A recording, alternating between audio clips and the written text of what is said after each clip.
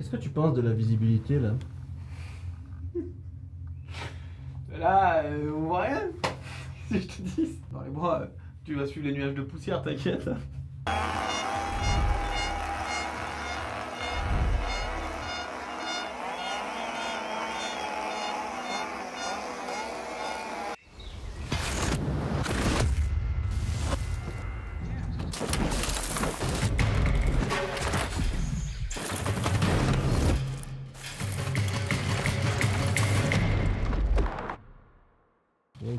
Welcome to Mont Sainte-Anne. Welcome. Welcome. Bienvenue à Mont-Sainte-Anne. On est le 5 octobre, il fait 4 degrés. non mais moi j'ai quand même mis.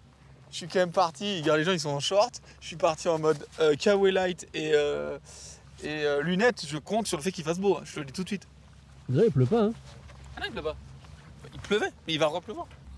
9h, bienvenue sur Full Attack, bienvenue sur euh, l'inside de la Calife, ma partie préférée. En vrai, c'est là où je me régale le plus. Il a plu cette nuit, donc ça c'est une chose à retenir. Il a plu ce matin, il y a du brouillard, comme vous pouvez le voir. Vicky Clavel qui s'élance, toute propre. Euh, après, les pilotes, euh, ça a l'air d'être quand même sacrément sec. En bas, à part les premiers pilotes où c'était un peu sale, qu'on nettoyait la piste, je pense que ça va ressortir le sec. Mais il annonce encore la pluie à 14h. Ça va être vraiment intéressant de voir à quoi ressemble cette piste. Même s'il n'a pas plu beaucoup, je pense qu'il y aura des parties qui vont être un peu chaudes. On est à Val d'Isole, faut pas l'oublier.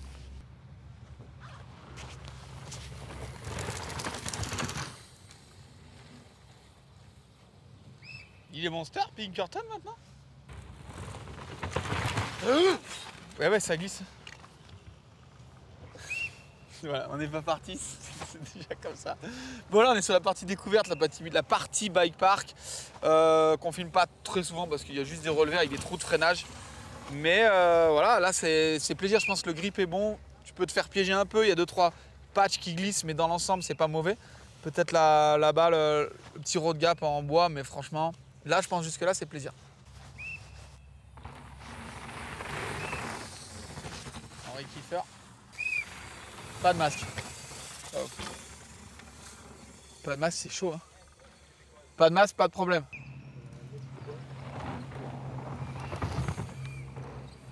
Là, ce que tu faut que tu filmes, c'est le ciel bleu qui arrive. T'as vu? Je vais pouvoir mettre mes lunettes. Non, en vrai, les lunettes, je vais vous dire pourquoi je les ai mis. On vous a préparé un petit truc, on va essayer de vous les faire gagner, mais ça, on en parlera à la fin. Euh, fallait s'y attendre, enfin, je sais pas trop s'il fallait s'y attendre. C'est sec à des endroits. Là, l'entrée, elle est mouillée, du coup, ça glisse vraiment. C'est sec sous l'arbre, voilà, on voit bien. Ça reglisse un peu là, il y a des racines qui sont mouillées. C'est resec, ça va, ça va pas être facile. Il va pas y avoir de section très sèche ou pas sèche. Comme la forêt, elle est clairsemée, bah, il y a des endroits, ça va être humide, avec des pierres qui vont glisser, des racines qui vont glisser, des endroits qui vont être secs. Et ça veut pas dire que ça va pas glisser. La, la, la, la- la poussière, elle a fait une poudre qui fait que ça glisse partout. Mais on voit quelque chose. Aujourd'hui, au moins, ça fait pas un nuage de poussière. Body. Oh là là, body. Ah, Il est fort, il est vraiment fort. On dirait Loris Verger, un mini Loris Verger. Il est à la maison, hein, Christian. hein. Tu vois, quand c'est comme ça, qu'il y a deux, trois supporters, qu'il y a des coachs de partout, il faut s'arrêter dans ce genre d'endroit. Viens, on, on va voir, euh, Hugo. Regarde, regarde, regarde, là, Hugo Marini. Donc, regarde, hop, ça filme. Voilà, regarde-le comme il filme. Ça va, Nix? Elle est bien ta vidéo?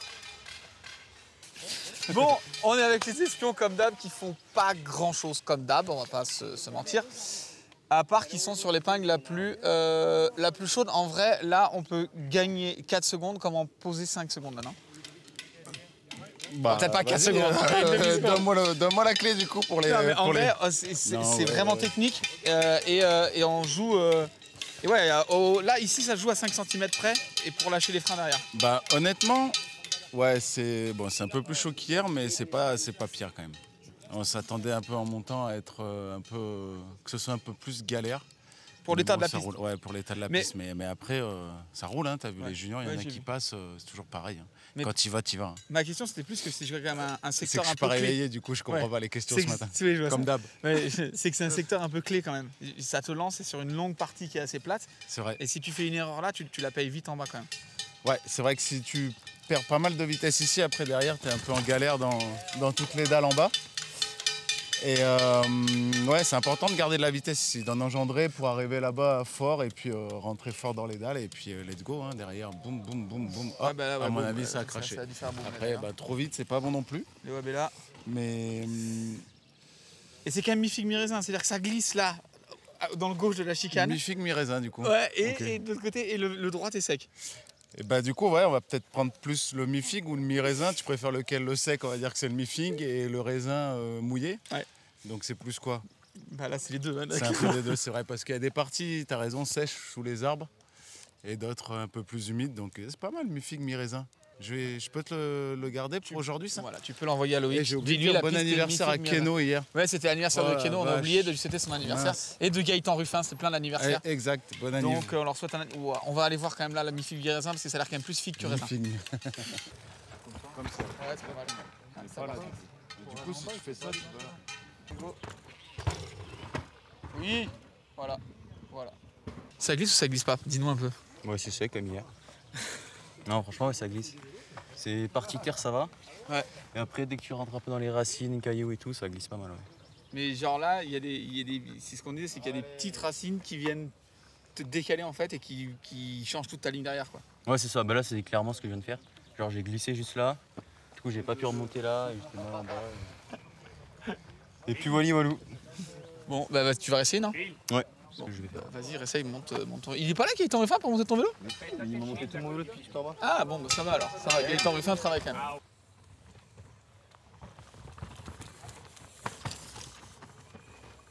Il est là, on l'a reconnu. On l'a reconnu. Antoine Vidal. Je peux lui faire mal plus plus mal. Ça va Antoine Vidal. Bon, petite chute, euh, du coup tu es sur le bord euh, pour, euh, pour cette euh, course de Val d'Isole. C'est ça, j'ai chuté et... et voilà, je suis là, Poignet, poignet. ça va Ouais. Ou c'est genre Ah, pas, ça, pas non, bien non, non, ça va, ça va. Y a rien de grave. Bon. Juste mal pour ce week-end. Dommage. Et du coup là tu es sur le bord pour venir voir un peu euh, coacher Jack et Léo et tout, et Là, là, et Léo, Lisa, ouais. tout le monde quoi. Voilà, en fait, tout- les quatre, sauf moi. Tu remontes les vélos aussi pas ou pas trop toi Ah, pas du tout. Pas- j'y arrive pas en fait. Sinon, Ah j'aurais fait, mais j'y arrive pas. Donc, euh, je, ne... je regarde juste les lignes avec euh, Pierrick. Et euh, sous la pluie, ça te donne envie de faire d'Isole sous la pluie ou pas? Bah là, ça me donne vraiment envie. Pour le coup, ça me donne vraiment envie après. Bon, comme ça, c'est la vie. Mais s'il pleut plus? Bah, c'est pas, le- pas le choix en fait. Moi, j'avais monté les roll j'étais trop content. Et les modes? Et non, ça c'est pas moi qui les ai montés, mais j'avais monté deux paires de roll deux masques. Depuis la Grand Combe, je l'ai monté. J'ai vu qu'il pleuve tout le temps, il pleut pas. Du coup, bah, je les ai, mais ils servent à rien. Bon, on te retrouve soon. euh, On te souhaite un bon rétablissement du poignet C'est ça, merci. et bon coaching. Merci. Merci.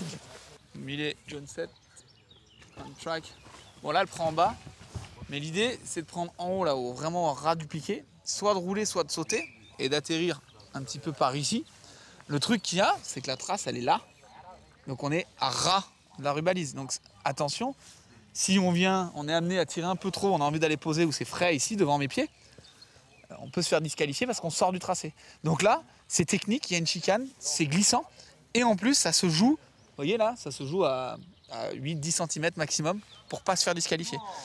Le tout à fond et pendant un run de course, pendant deux runs de course. Donc là, ça va être intéressant de le regarder. Il y a la caméra juste en bas, donc on va vraiment le voir à la télé. Et on a le split time qui est juste là, donc euh, ça va donner un bon indice aussi.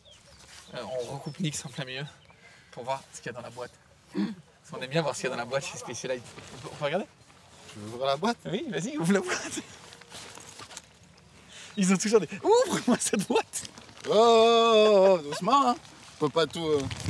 C'est bon, tu m'aides à capter là-bas, c'est bon. Hé, hé, hé, touche à rien.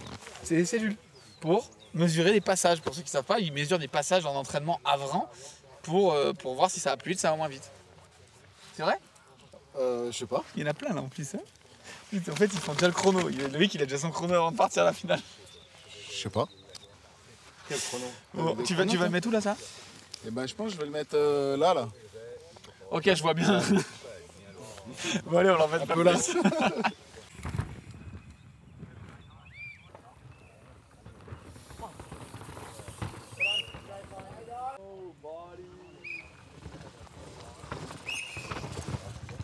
Max. Merci.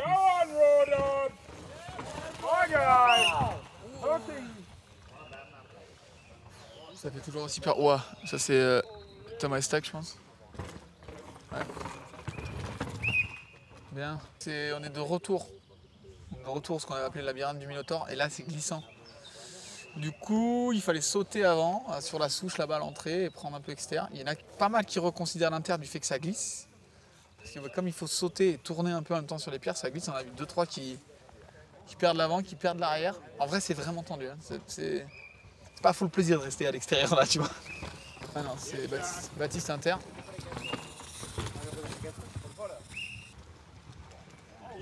Exter pour Goldstone. Loïc, premier run. hein. Exter, donc ils prennent la tragière. Donc, la consigne, ils vont faire trois runs avant leur qualif. La consigne, apparemment, c'était que le premier de voir un petit peu comment ça allait être, appréhender un peu la piste, voir s'il n'y avait pas des lignes à changer. Puis après, c'est de reprendre de la vitesse, de reconstruire sa vitesse. Parce que bah, ça a clairement changé. Ah, Fab, qu'est-ce que t'en penses, toi? J'en pense qu'il y a, hum, on rentre dans du pilotage qui est vachement plus instinctif. C'est-à-dire que quand tu as des, des lignes qui sont vraiment sharp et précises, ben, tu arrives à vraiment leur dire ben, là, tu te poses là, tu décomposes. Là, si tu veux, il y a quand même beaucoup de feeling. Il y a des pilotes qui vont être capables de plus flotter au-dessus des choses et pousser à des endroits que d'autres ne seront pas capables. Donc, si tu veux, il y a quand même beaucoup euh, la sensation de- du pilote avec le vélo pour aller savoir ben, soit Ouais. tu vas au plus court, tu tends l'inter et tu sacrifies le droite pour aller plonger dans le gauche. Toi, au contraire, tu essaies de garder de la vitesse. Mais on en a vu beaucoup glisser dans la petite partie d'herbe qui est autour de la souche. Hein. Et quand ils arrivent là, tu vois, petite pierre en, off- en, en dévers. Donc euh, c'est euh, c'est vraiment pas simple. Et même pour nous sur le bord de la piste, donner une consigne ferme à leur dire la bonne ligne c'est là, c'est pas trop S'ils possible. le sentent pas, c'est pas évident. Eh non, c'est pas évident. Là, tu, leur- toi, tu leur as dit, là, ils prenaient exter tous dans l'ensemble hier à peu près. Ouais, là, ben qu'est-ce là, que tu leur as dit ben là, l'inter moi, moi, je leur ai dit d'essayer l'inter et l'exter. Euh, J'ai les juniors qui sont passés sur le saut. Mais tu vois, sur le saut, l'atterrissage, il y a une pierre qui est sortie qui n'était pas hier. Ouais. Et surtout, quand tu te poses du saut, tu tournes sur cette fameuse pierre où tu as déjà vu des mecs glisser Qui est pas belle. et qui est pas belle du tout. quoi. On va regarder un peu.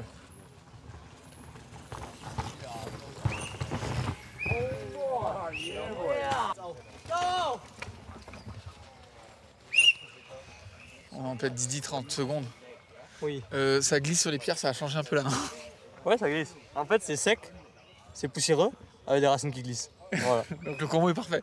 Ouais, écoute, euh, Teammate, ça a l'air pas mal ça. ça a l'air pas mal. Ouais. En plus, j'espère que. Euh, Ouais, mais ça va faire ça. Oui. On te laisse regarder, puis après, on- Oula, et après tu vas essayer.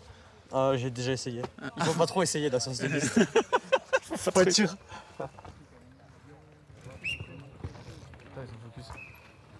On va quand même les laisser euh, travailler quand même. Si on leur fait que poser des questions et que là tout à l'heure à la- au- à la qualif il sait pas où il va, ça va être compliqué.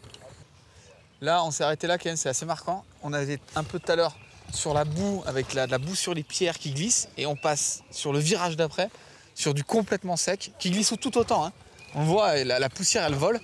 Donc c'est une alternance de, de, de grip, c'est une alternance d'adhérence qui est permanente et qui est vraiment compliquée à gérer.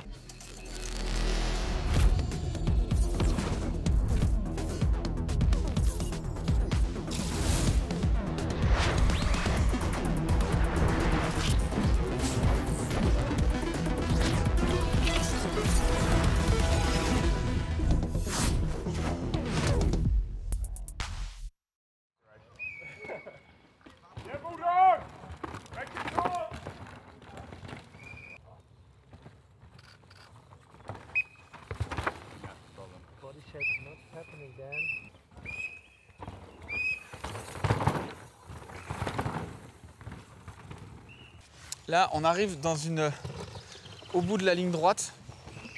C'est pas qu'ils se reposent, mais ils ont quand même le temps. Le seul truc, c'est que ça paraît pas du tout. Mais vous voyez là, voilà, on y est exactement. C'est externe, c'est un trou, c'est fermé, derrière c'est plat, il y a de la poussière. Après, il reste l'inter, mais l'inter, on est un peu sur des œufs à être comme ça. C'est vraiment, ça paraît pas du tout, c'est pas un endroit technique. Euh, je sais pas par rapport à la télé où on va le voir, mais des fois on le voit au loin. Et des fois, c'est là où ils perdent des dixièmes, c'est là où ils perdent des secondes. Parce que euh, ben, voilà, le virage, il est, il est tout carré. C'est pas du tout impressionnant. Tout le monde pourrait le rouler quasiment. Mais ça conditionne tellement de choses et ça conditionne en plus le road gap qu'il y a derrière, le mini road gap qu'on ira voir après. Mais euh, on va regarder un ou deux passer. C'est vraiment pas facile comme endroit. Et pourtant, c'est pas technique.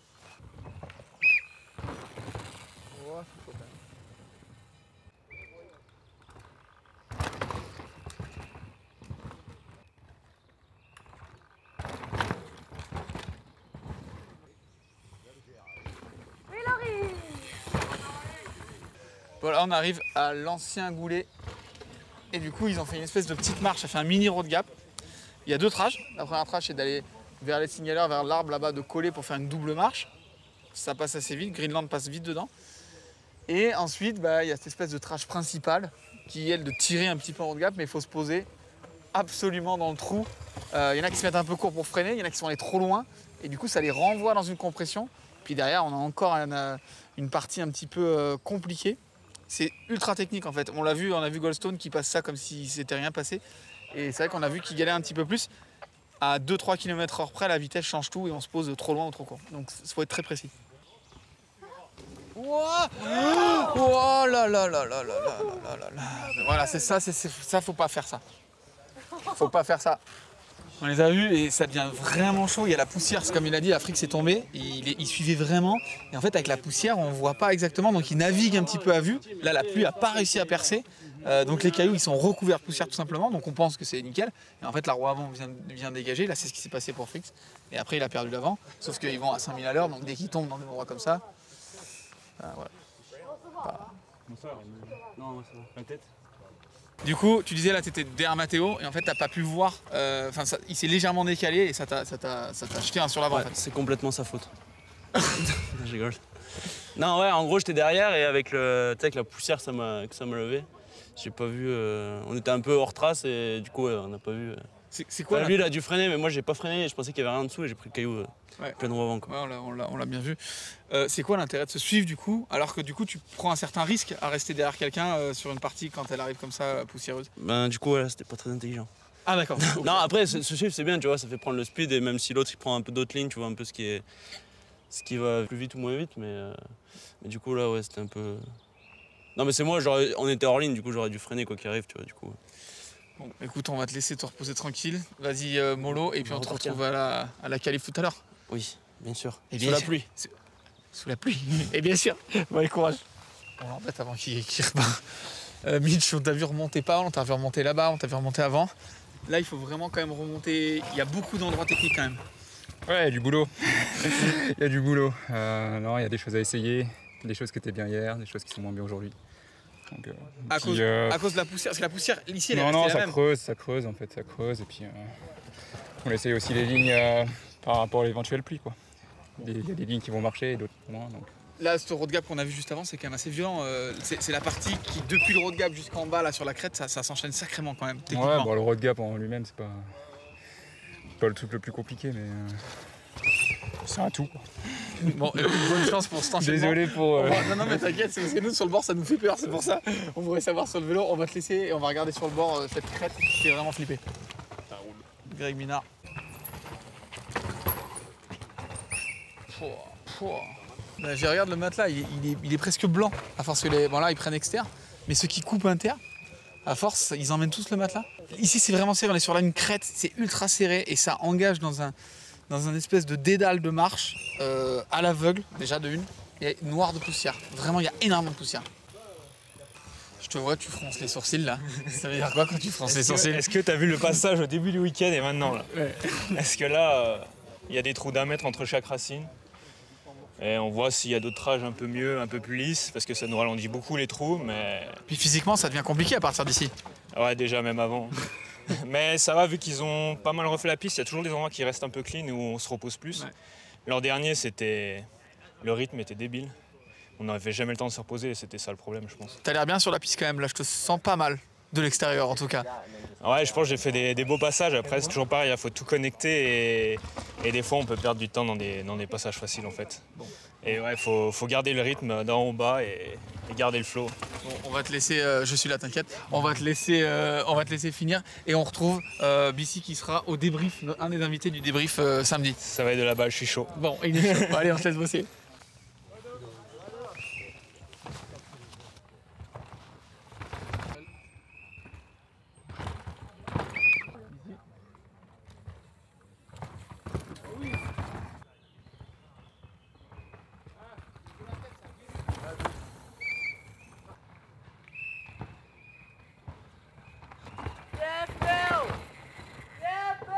C'est le fils spirituel de Lewis Hamilton. Lewis, 44, Lewis 44. Hammer Time. C'est assez sec alors. Euh, La première, c'était vraiment bizarre. Mais maintenant Mais maintenant, ça commence à être vraiment pas mal. Faut faire gaffe encore, je pense, aux 2-3 points. J'ai vu deux gars euh, dans le pierrier là-haut. Je pense qu'ils se. Ils se disent ça passe quoi. Mais genre ça marche pas quoi. Quand tu prends des cailloux comme ça à mouiller, ça marche pas. Faut être un peu intelligent. Voilà, du coup euh, j'ai pas trop trop regardé le pierrier mais j'ai changé de ligne. Et là, ça tape quand même à partir d'ici. là. Et là, il y a ce mur de racine, il tape plus qu'en neige, j'ai l'impression. Mais ouais, à partir d'ici, ça commence à être dur quand même. Mais franchement, Et il en reste. Et il en reste. Mais on a fait le plus dur, je pense. Bon, on est pas, faut aller jusqu'à l'arrivée à chaque fois, mais... mais le plus technique, on l'a fait, je pense. Faut passer la ligne quand même. hein. Voilà, c'est ça. Si tu t'arrêtes là, ça fait chier quoi. Bon, on essaiera de te voir à la ligne à la qualif tout à l'heure. hein. Ok, vas-y. Merci, bonne chance. On vient de voir deux trois crevaisons, c'est un peu chaud là, BC et tout. On arrive sur euh, ce virage final euh, où ça saute vraiment loin avec ce virage mythique euh, de Sam de Jackson Goldstone. Mais j'ai un consultant pour l'occasion qui va vraiment mieux vous en parler que moi. Et ça, c'est le business.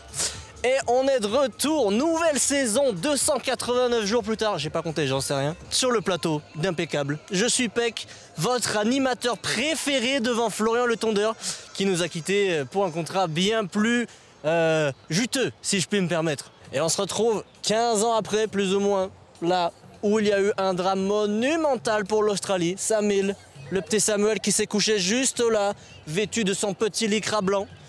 Mais c'est pas ce week-end qu'il va se voter puisqu'il est pas là. Alors, on va faire un petit point technique parce qu'apparemment c'est pas clair pour tout le monde. En descente, les vélos n'ont pas de moteur. Sur les commentaires YouTube, j'ai vu sous la vidéo que Kimi Verdo nous a faite euh, du track preview que apparemment il aurait un moteur. Ce n'est pas un moteur, c'est le bruit du vent dans une GoPro. C'est quand même pas compliqué. Oh, il a failli tomber lui. Euh, Filme-le lui. C'est l'avenir pour toi Alors, le Fort Cross, d'ailleurs, on peut en parler puisque Thibaut Lally s'est qualifié, je crois, en 8 position hier. J'ai rien à dire. Allez, au revoir. Reviens Non Reviens Benoît Coulange, ça va, ça a été? Ah, je fais du bon boulot. J'ai donné tout, mais j'ai pas les plus vite. on va trouver le vrai Kev. Je vais dans l'arrière. De l'arrière, de l'arrière.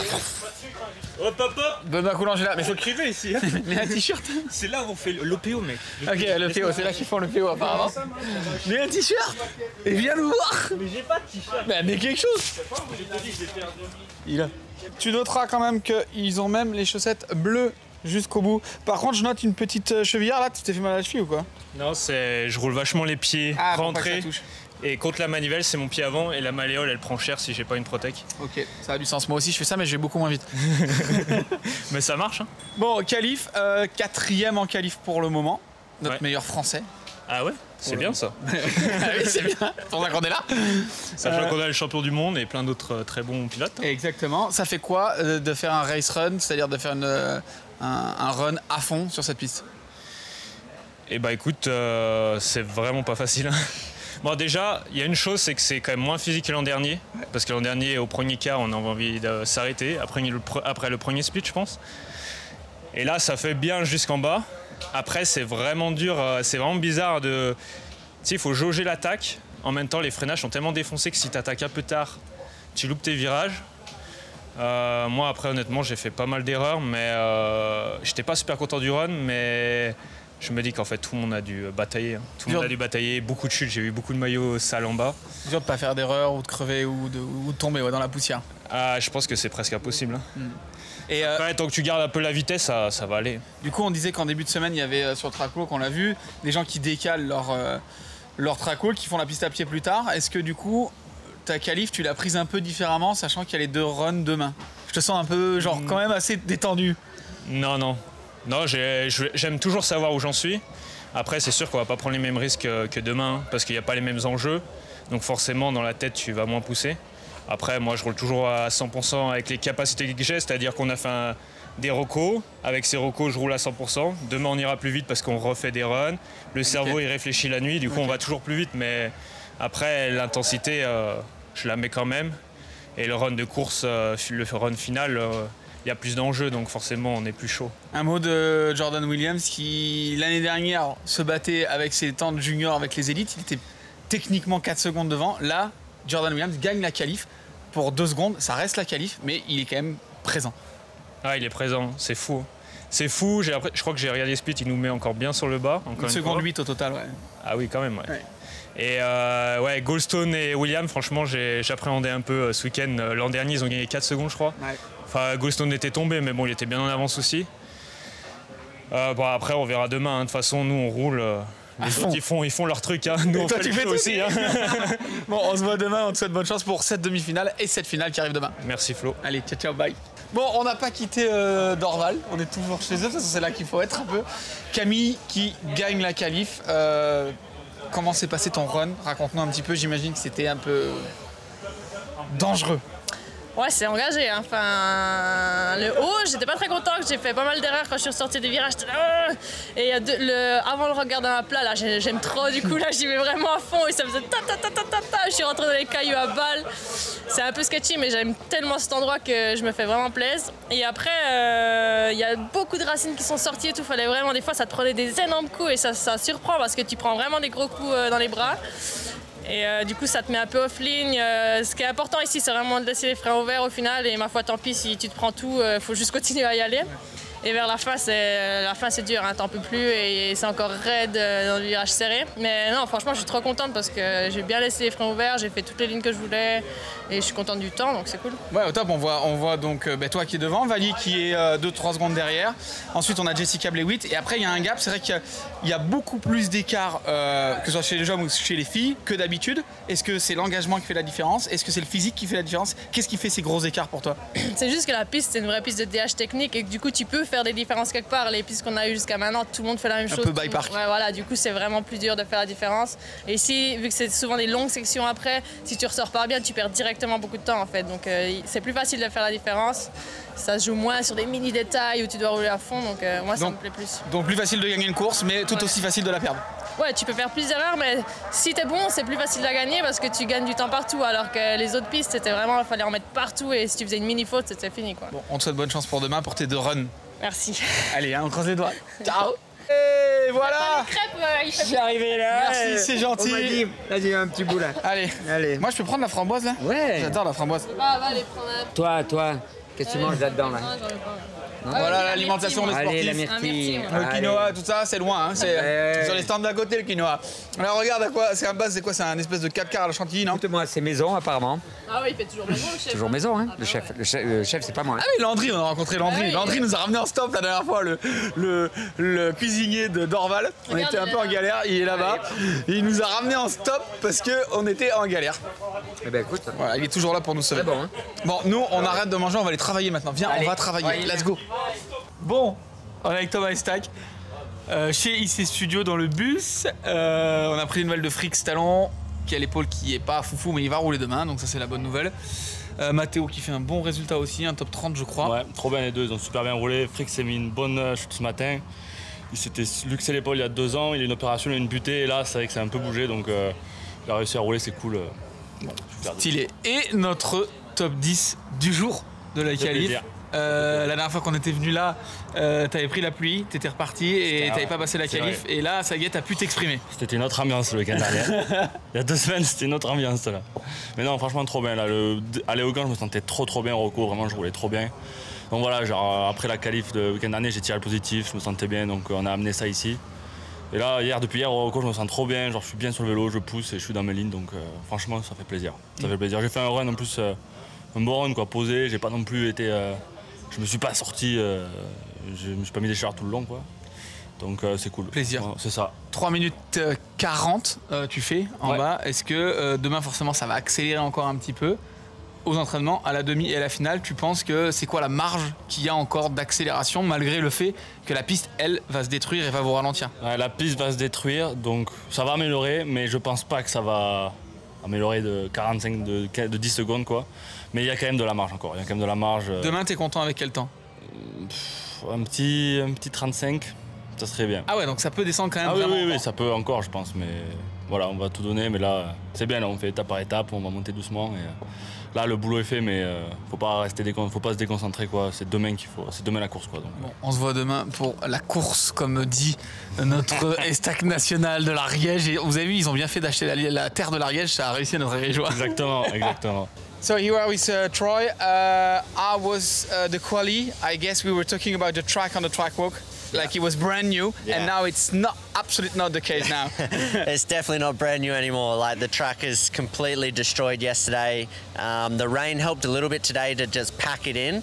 Um, but yeah, qualifying was tough. I definitely was a little too conservative, too much braking in some key sections, um, and then my arm pump was just massive at the bottom. So yeah, I think I'm around 15th or something, um, and got a, a little bit of work to do for tomorrow. But luckily we have the semi and the final, so I'll be able to build on that and. Uh, try and go for it. Yeah, you're sitting uh, 14, to, uh, 14 for the moment with uh, 3 minutes point 41. What's going to be the time tomorrow to win the race, do you think?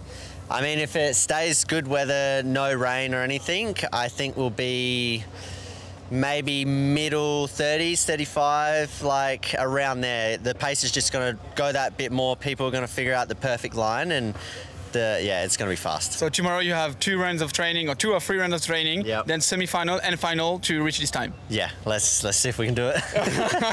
Good luck anyway. Cheers. Thank, you. On vient d'avoir euh, Troy, donc il nous expliquait, euh, je lui demandais comment ça s'était passé euh, la qualification. Donc il me disait que bah, forcément la piste elle avait énormément travaillé par rapport au, la dernière fois on l'avait vu euh, pendant le track walk et que là elle était quand même assez défoncée, c'était dur de trouver euh, la bonne vitesse, le bon rythme, euh, effectivement, et puis prendre les freins à certains petits endroits, ça coûtait des secondes. Après, comme il a dit, pour le moment, il doit être donc dans les top 15. Il est 14e en 3,41. Je lui demandais justement, comme à Thomas, quel était le temps demain pour gagner.